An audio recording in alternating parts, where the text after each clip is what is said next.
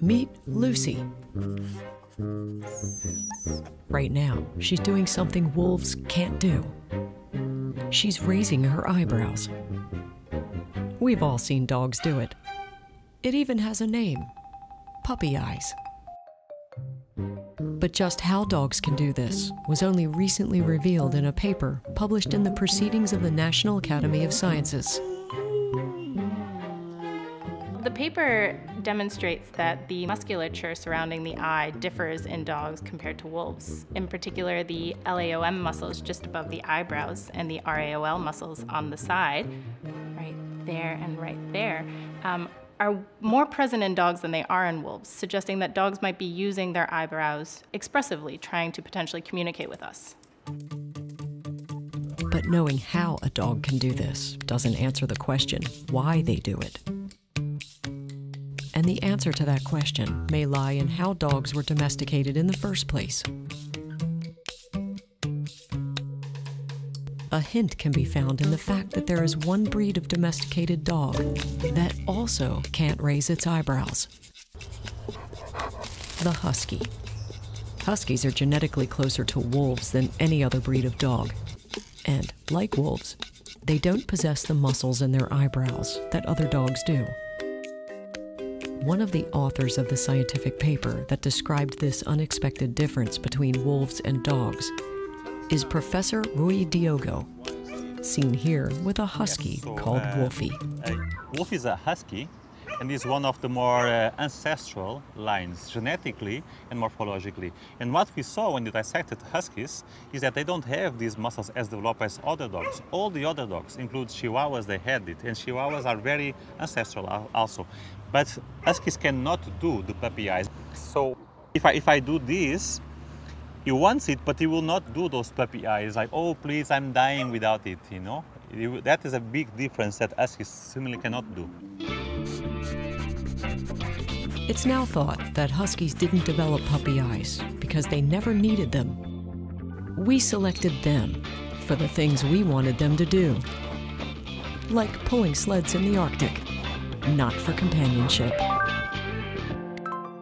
They can be cute, but they really don't interact so much and don't care so much about humans. So they are, in theory, more detached than other dogs that were really raised to be company dogs. We don't call them, right, company dogs. That's, that's the main difference. And companionship was certainly not on the minds of the wolves when they first began to pay attention to us. It's thought that even before the first agricultural revolution at the end of the last ice age, wolves began to tag along with our nomadic ancestors, hunting the same animals that we were hunting. Biologists call it commensalism, literally, eating at the same table. But when our ancestors stopped migrating and started to build permanent encampments, a profound change in our relationship to wolves began to occur. We actually don't know when the change would have started to occur.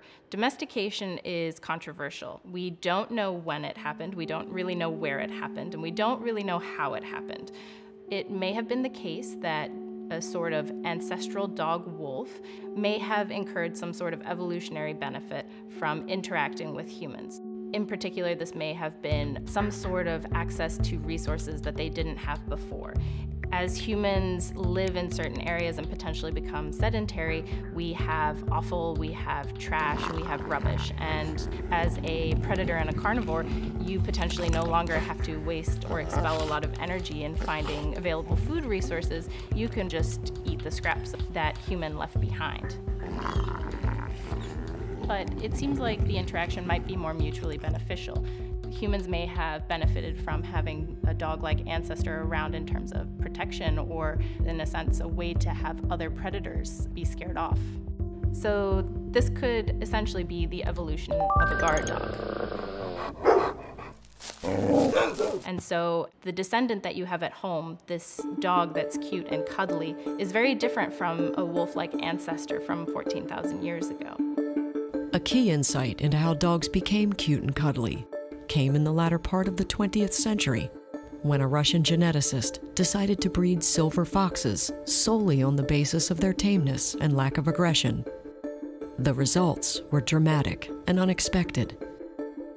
this is a lovely experiment where since the 1950s they have been in a sense, selecting um, for evolutionary traits related to tameness or interaction with humans. And we see that in roughly 10 or so generations that not only do behavioral changes arise, but also physical features seem to change. The experiment with the silver foxes showed that we were just selecting for tameness. And some of this cuteness comes as a byproduct.